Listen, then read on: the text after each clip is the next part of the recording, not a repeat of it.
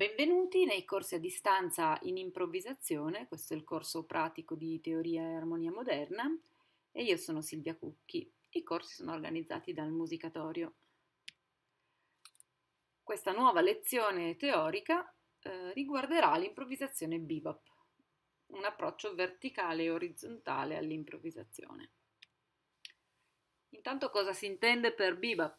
Il bebop, piccolo, un piccolo cenno storico, anche se Ovviamente non sono la persona più adatta a parlare di storia del jazz né è la preziosa di questo corso, ma per contestualizzarlo il bebop, che è, un, è, uno stile nel jazz, uno stile improvvisativo che si è sviluppato a New York intorno agli anni 40, spesso viene definito come bop, abbreviato.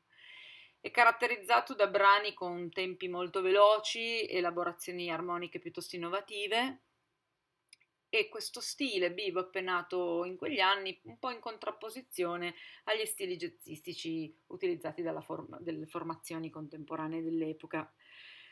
Questo stile si caratterizza armonicamente per l'utilizzo di giri armonici che sono abbastanza semplici, che erano quelli già utilizzati eh, dai jazzisti, ma con frequenti sostituzioni armoniche, utilizzo di accordi diminuiti, aumentati, quindi accordi di maggiore tensione che portano frequente ricorso alle dissonanze e anche la, un atteggiamento all'improvvisazione attraverso nuove scale su cui improvvisare. Infatti oggi parleremo di scale bebop. Ricordiamo tra i padri fondatori del bebop ovviamente Charlie Parker e Dizzy Gillespie. Dunque il titolo della lezione era Improvvisazione bebop tra approccio verticale e orizzontale. Per chi non ha seguito le precedenti lezioni teoriche, questo titolo può essere un po' eh, fuorviante, quindi farò una piccolissima parte di lezione destinata a un po' di ripasso su quelle che sono le diverse tecniche improvvisative per definire questo concetto di verticale e orizzontale.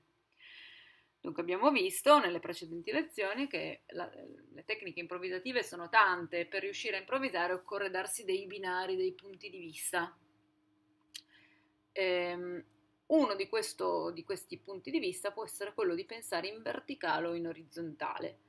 Quando si pensa in orizzontale si tende ad associare delle scale a dei giri armonici e improvvisare sulle scale. Se invece il pensiero è verticale si tende a pensare all'accordo e ai suoi sviluppi, all'arpeggio dell'accordo. C'è anche la possibilità, sempre pensando in orizzontale, di costruire delle linee guida con delle note cardine che fanno sì che noi possiamo avere dei piccoli paletti come un canovaccio improvvisativo. Nel bebop si utilizzano questi approcci contemporaneamente, orizzontale e verticale. Rimango ancora eh, su questo concetto di improvvisazione orizzontale e verticale per qualche slide, semplicemente per essere sicuri di aver capito il mondo in cui ci troviamo. Allora, nelle precedenti lezioni abbiamo visto che un approccio orizzontale prevede l'uso delle scale, che le tecniche principali sono il fatto di analizzare il centro tonale del brano, definirne la tonalità di impianto e utilizzare la scala, che poi è la tonalità del pezzo, per improvvisare fino al punto in cui il brano modula, perché ovviamente i brani possono modulare da una tonalità all'altra. Un altro approccio eh, è quello di utilizzare delle scale modali e quindi associare una scala a ciascun accordo. E poi c'è l'approccio della linea guida, di costruire quindi delle note cardine a cui aggrapparsi, diciamo, nell'improvvisazione. Poi c'è l'approccio verticale, che è l'uso di eh, arpeggi degli accordi, il tutto arricchito con note di passaggio e cromatismi. Abbiamo detto che nell'improvvisazione bebop scale e arpeggi vengono utilizzati, cioè questo questo modo di pensare a scale e arpeggi vengono utilizzati contemporaneamente. Questo è abbastanza sensato se pensiamo che le scale diatoniche sono direttamente collegate agli accordi che usiamo per descrivere l'armonia di uno standard tramite delle sigle. Immaginiamo di avere un Do major 7, l'arpeggio è Do mi sol si, le estensioni dell'arpeggio possono essere nona, undicesima e tredicesima, quindi in questo caso sarebbero Re fa La, quindi se io improvviso pensando agli arpeggi, avrò come note Do, Mi, Sol, Si, Re, Fa, La. Ma questo materiale fuso insieme crea la scala, quindi avrò la scala di Do maggiore. È ovvio che il punto d'arrivo, quindi il materiale, è lo stesso, quindi sono le sette scale note della scala di Do, oppure le sette note dell'arpeggio di Do major 7 esteso alla tredicesima.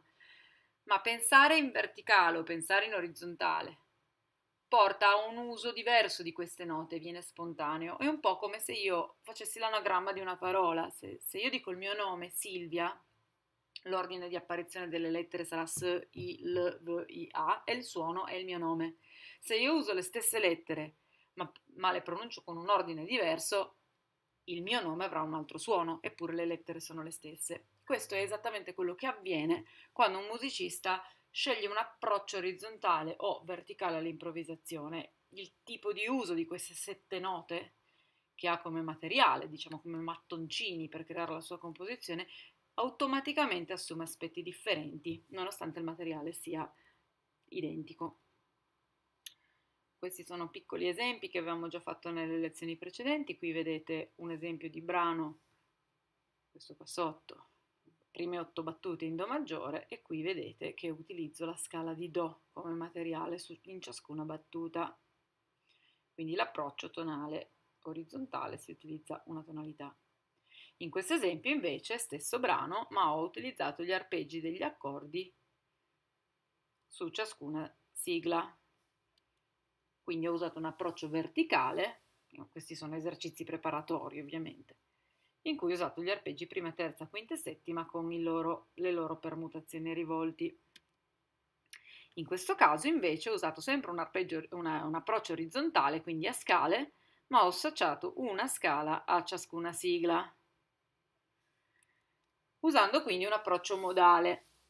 Ogni accordo ha una sua scala di riferimento. L'approccio modale è un approccio che ancora non abbiamo studiato fino ad oggi nelle lezioni teoriche, l'abbiamo solo accennato e lo approfondiremo nelle prossime lezioni. Oggi invece dobbiamo quindi pensare a che cos'è questa improvvisazione bebop, che poi è un po' il papà, il bebop del jazz moderno. Quando sentiamo le improvvisazioni con questo uso di cromatismi molto, come dire, dissonanti ma anche interessanti armonicamente e ritmicamente, sappiamo questa radice in genere arriva dal bebop. In genere quando i principianti iniziano a improvvisare hanno quel desiderio di suono, di improvvisazione jazzistica, quindi ricca di cromatismi, eh, elaborata come accenti, ma poi tendendo ad utilizzare le scale e gli arpeggi nella maniera più consueta, quindi come potrebbe essere il modo appartenente alla nostra tradizione, della musica classica, ma anche della musica leggera di stampo esclusivamente occidentale, questo tipo di sonorità non ci viene. Usiamo la scala giusta, l'arpeggio giusto, ma non riusciamo ad ottenere quella sonorità lì. Il motivo sta nel fatto che abbiamo un uso scorretto, comunque non efficace, del, dei cromatismi e delle note di passaggio. Visto che l'improvvisazione bebop si basa moltissimo sull'uso dei cromatismi e delle note di passaggio, eh, oggi affronteremo un po' più nel dettaglio questo tipo di tecnica e cercheremo di capire come studiarla. Intanto il bebop eh, funziona utilizzando scale e arpeggi esattamente come abbiamo fatto fino ad ora, ma farcendoli appunto con due tipi di abbellimenti cromatici, più che altro due tecniche per creare questi cromatismi. Queste tecniche sono l'uso di arpeggi circondando le note dell'arpeggio con note cromatiche diatoniche. L'altra tecnica invece è pensare a scale, ma creando delle scale di tipo bebop. E oggi parleremo di una e dell'altra tecnica, quindi queste due tecniche di uso del cromatismo. Partiamo dall'idea della scala bebop. Intanto questa scala non esiste nella grammatica della musica occidentale, un po' come il discorso sulla scala blues che abbiamo già affrontato. Nasce dalla fusione di generi appartenenti a diverse culture, non la troviamo, diciamo, nella grammatica della musica occidentale, nei programmi di conservatorio per musicisti classici. Vediamo un po' come costruirla. Intanto partiamo da una scala normale che definiamo diatonica, in realtà questa è la banalissima scala di Do che conosciamo tutti. Quando suoniamo questa scala di Do avremo una serie di crome che sono su tempi forti e deboli della battuta. Questi, I tempi forti sono quelli che dettano l'armonia, quindi Do, Re, Mi, Fa, Sol, Si, Do. Quindi avremo molto forte il Do, il Mi, il Sol e il Si, esattamente l'arpeggio di Do major 7. Se poi continuiamo la scala, Do, Re, Mi, Fa, Sol, Si, Do, Re, Mi, Fa, Sol, La, Si, Do, Re. Quindi avremo Re, Fa, La e Do, le estensioni nona, undicesima, tredicesima e ovviamente poi l'ottava perché siamo arrivati quindicesima. Prendiamo solo il primo pezzo di scala. Vedete che sui tempi forti abbiamo Do, Mi, Sol, Si, cioè l'arpeggio di Do major 7. Se noi utilizziamo la scala maggiore sull'accordo di Do, tendenzialmente avremo sugli impulsi forti queste quattro note molto caratteristiche dell'accordo. La scala bebop nasce proprio dalla necessità di inserire dei cromatismi all'interno della scala allo scopo di acquisire un controllo sulla sonorità armonica emessa dalla scala mentre la suoniamo. Quindi per, dec- per avere più padronanza nel sapere quali saranno i tempi forti della battuta e quali note andranno a cadere su questi tempi forti. Facciamo un esempio, questa è una scala bebop discendente, Do, Si, La, La bemolle, cromatismo aggiunto, Sol, Fa, Mi, Re, Do, Si, La, La bemolle, Sol, Fa, Mi, Re, Do. È una scala bebop che è la scala maggiore con l'aggiunta, in realtà questo La bemolle è, è visto come quinta diesis, con l'aggiunta della quinta diesis, quindi di un cromatismo. In questo modo i nostri tempi forti saranno Do, La, Sol, Mi, ovvero l'arpeggio dell'accordo di Do sesta. Quindi se noi su un accordo Do major 7 suoniamo una scala bebop, in realtà aggiungiamo nella nostra sonorità questa sesta sul tempo forte.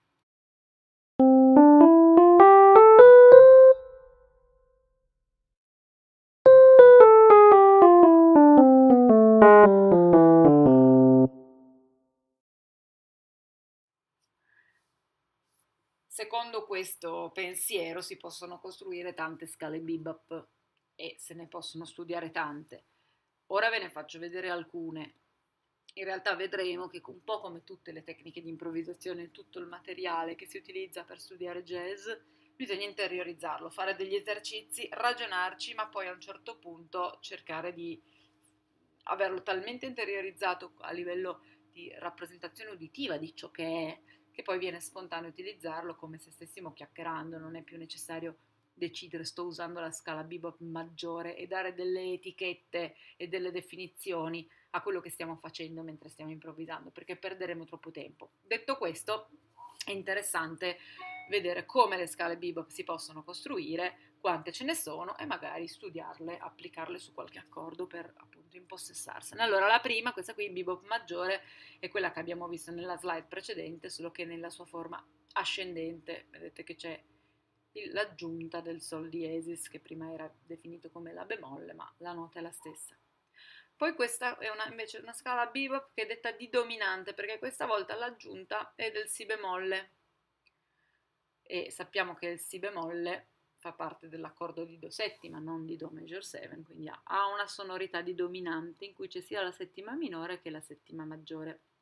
Perché di dominante? Perché in realtà nei tempi forti do, mi, Sol, Si bemolle andremo a toccare la settima minore, quindi la settima maggiore a questo punto è di passaggio. Mentre la scala doria o dorica bebop prevede l'aggiunta della terza maggiore ed è utilizzata sugli accordi minori. Qui vediamo un'altra scala bebop utilizzata sugli accordi minori che questa volta ha giustamente la terza minore in quanto scala minore, ma poi ha l'aggiunta della quinta diesis. Quindi diciamo che questa bebop minore è la faccia minore della scala bebop maggiore che abbiamo visto, la prima. Quindi questa è una scala maggiore con la quinta diesis, questa invece è una scala minore con la quinta diesis. Questa bebop locrio è un po' più, un po più complessa, ve la metto per cultura, ma preferirei che non impazziste troppo nello studiarle tutte e dare nomi a tutte.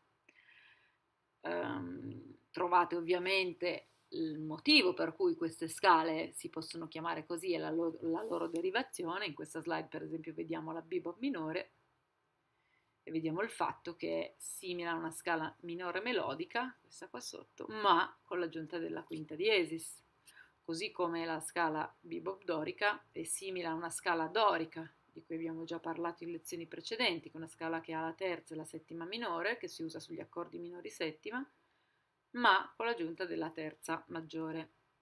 Qui vediamo una scala bebop di dominante, con le due settime che vi ho già evidenziato prima, e infatti vediamo che la sua derivazione quella della scala misolidia, che ci ricordiamo dalle lezioni precedenti è una scala maggiore con la settima minore che si usa sugli accordi di dominante, i famosi accordi di X7, quella tipologia accordo maggiore, settima minore, e qui vediamo la sua forma bebop, quindi con le due settime, col cromatismo sulla settima.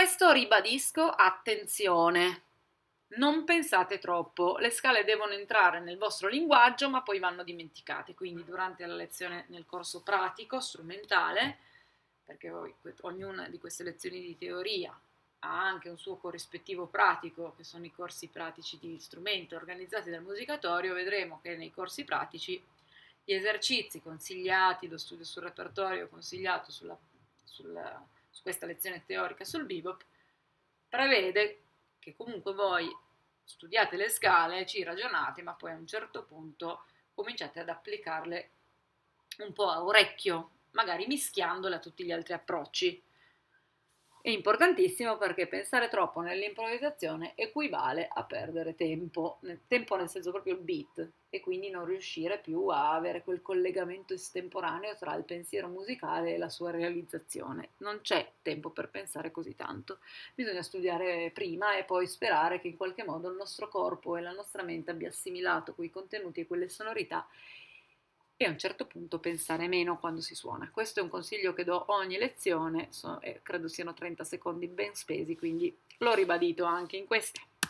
Andiamo avanti, proviamo a vedere come poter applicare delle scale bebop e solo qualche esempio in piattaforma, nei corsi pratici troverete più esercizi. Comunque in questa slide vediamo per esempio un esercizio molto sì, metodico per studiare le scale bebop di dominante su un giro blues in Fa.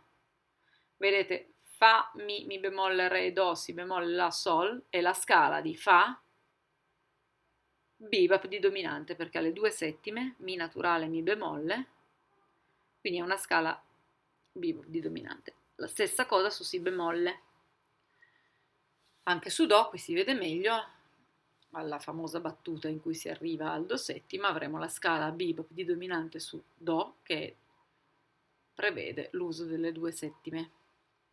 Quindi questo è già un piccolo esercizio da fare sul giro blues, in questo caso l'esempio in Fa, ma potete ovviamente trasportarlo in altre tonalità sulle basi.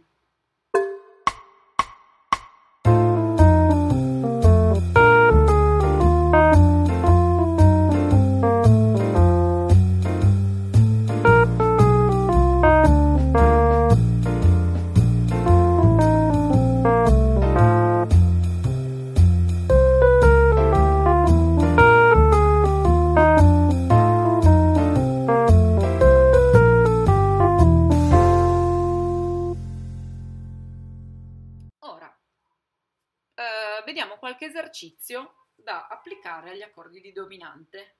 In questo caso eh, applicheremo gli esercizi a sol settima. Questa è la base, la partenza. La partenza è suonare la scala di sol misolidio, cioè suonare le note della scala di sol misolidio senza cromatismi, partendo da gradi diversi della scala. In questo caso siamo su sol settima, siamo partiti dalla nona o dalla seconda, il La. Qui siamo partiti dalla sesta o dalla tredicesima, Mi. Qua invece siamo partiti dal Do, che rispetto a Sol settima è la quarta o undicesima. E quindi suoniamo la scala discendente. Ora applichiamo dei cromatismi a questo esercizio. In questo caso quindi non ci chiediamo più quale scala blu, eh, bebop stiamo utilizzando, proprio nell'ottica di non etichettare ogni cosa che facciamo. Semplicemente cerchiamo di prendere questo pattern diatonico e aggiungere delle note cromatiche. L'approccio è quello del, dell'uso della scala bebop, ma non ci chiediamo quale. Allora, in questo caso abbiamo inserito il cromatismo tra la seconda e la prima, quindi tra La e il Sol, e tra la prima e la settima, tra Sol e il Fa. Vedete che abbiamo suonato La, La bemolle, Sol, Fa diesis, Fa. Lo stesso approccio nella seconda scala finirà al fondo della scala, perché siamo partiti ovviamente dalla tredicesima, e la stessa cosa applicata anche partendo dalla quarta. Ora mettiamo il cromatismo tra la prima e la settima, quindi sempre tra il Sol e il Fa, passando dal Fa diesis, e questa volta eh, suoneremo le nostre scale partendo dall'ottava, dalla settima, dalla quinta e dalla terza. In questo esempio sono combinati due esercizi, quindi mettiamo il cromatismo sia tra la Sol e il Fa, quindi tra l'ottava e la settima, che tra la terza e la seconda, quindi Si, Si bemolle, La, che tra la seconda e la prima, La, La bemolle, Sol. E applichiamo questo esercizio alle diverse scale. Vi consiglio ovviamente di suonare sempre swingando, quindi con un portamento ternario.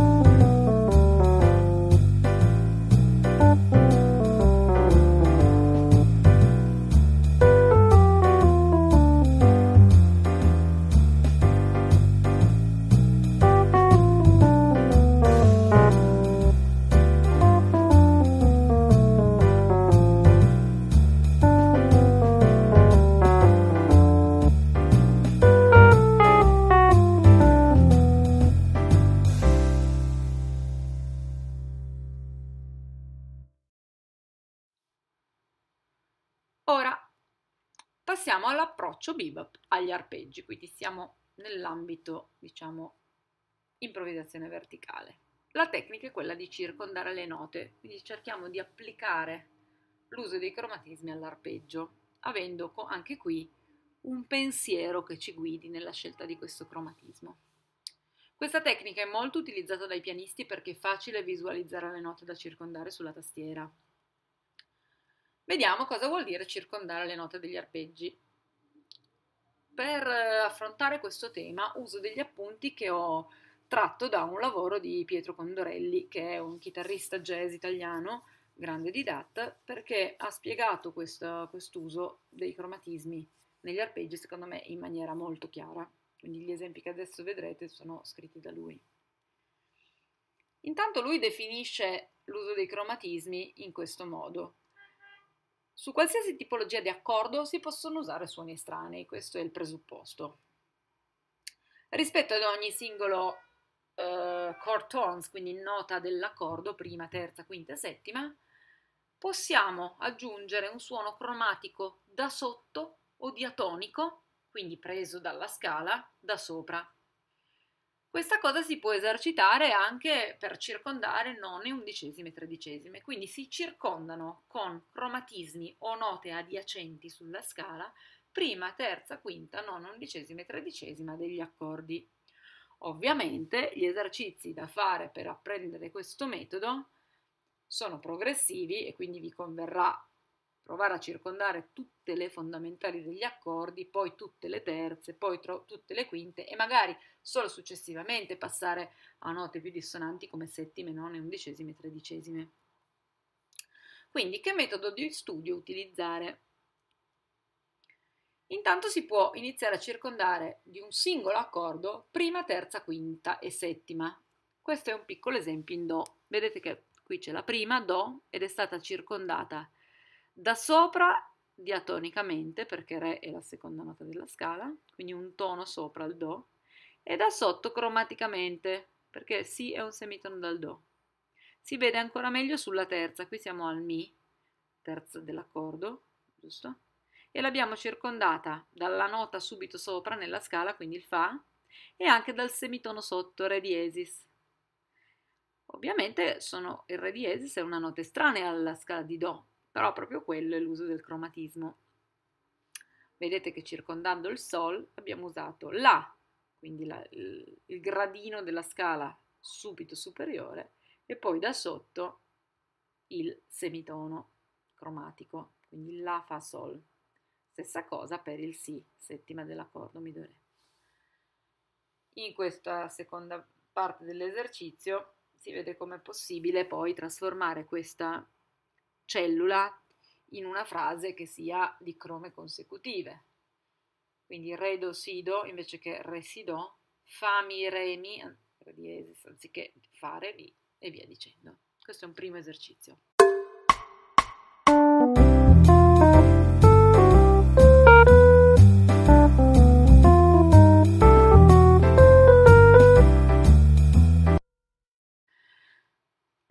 Seconda cosa è quella di esplorare la possibilità su una sola nota dell'arpeggio,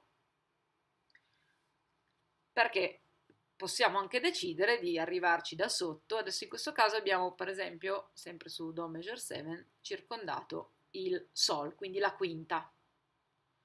Ci siamo arrivati da sotto, cromaticamente, da sopra, diatonicamente, quindi grado della scala successiva, da sopra e poi da sotto, con però un ritmo diverso rispetto a questo. Qui erano due crome e poi sul tempo forte la semiminima, qui invece suoniamo su un tempo forte una semiminima e poi velocemente il cromatismo. Qui è sempre la stessa eh, figura melodica ma con una diversa connotazione ritmica. E qui siamo addirittura arrivati a un'estremizzazione di queste possibilità, perché circondando sempre il Sol siamo addirittura partiti dalla nota diatonica sotto, quindi l'ultima nota della scala prima del Sol è il Fa, poi il suo cromatismo, poi da sopra col suo cromatismo, quindi tono sotto, tono sopra, entrambi col cromatismo, Fa Fa, La La, Sol. E qui abbiamo aggiunto ancora una variabile ritmica ripetendo di nuovo il Fa diesis. Queste sono piccole cellule che poi nel loro susseguirsi su un giro armonico creano questa sonorità bop.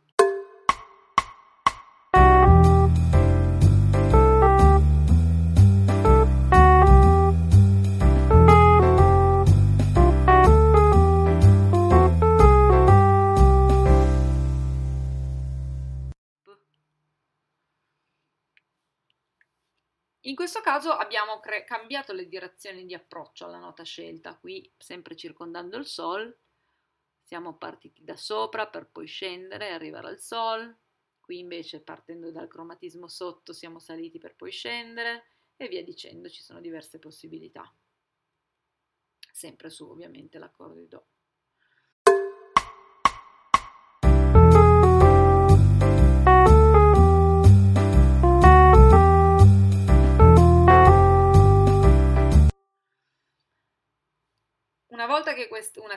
Stata approfondita, si può decidere di utilizzare un pattern e però cercare di applicarlo su una successione di accordi.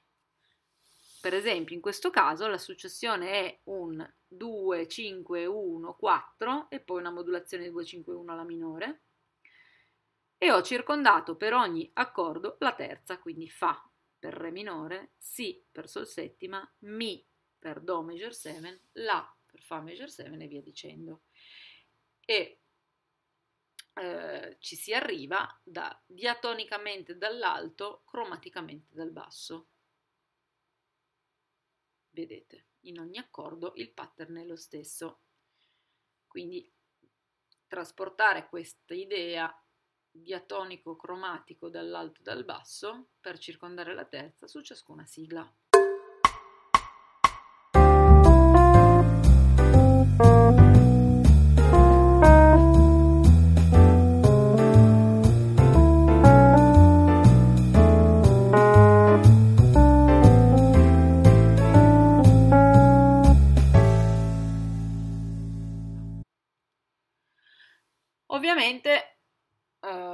Condorelli eh, consiglia nel suo metodo, conviene prima eh, approcciarsi a un accordo solo e sviluppare la tecnica. Lui ha fatto qui un esempio in La minore, circondando prima, terza, quinta e settima, poi ha circondato cinque, quinta, terza, prima e quinta, poi ha circondato quinta, terza, prima e settima, ma è rimasto sempre sullo stesso accordo.